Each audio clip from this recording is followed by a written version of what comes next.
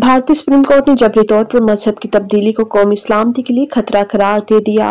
हुकूमत से तदारे के लिए उठाए गए इकदाम पर रिपोर्ट तलब कर ली। अटॉर्नी जनरल तुषार मेहता ने अदालत में कहा है कि कबायली इलाकों में मज़हब की जबरी तब्दीली के वाकत तेज़ी से रूनमा हो रही है।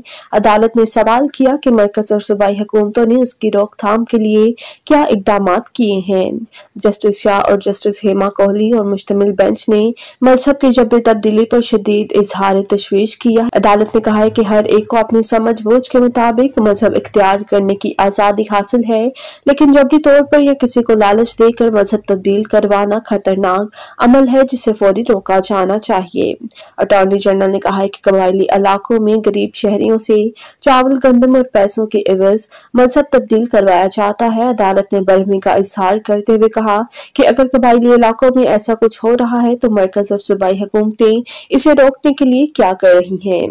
कबल एडवोकेट अपदीफ ने सुप्रीम कोर्ट में मुफाद आमा के पटिशन दायर करते हुए मौकफ इख्तियार किया था कि पिछली दो दहाइयों के दौरान बड़े पैमाने पर निचली जात से ताल्लुक रखने वाले अफराद को क्रिश्चन मज़हब कबूल करने पर मजबूर किया गया।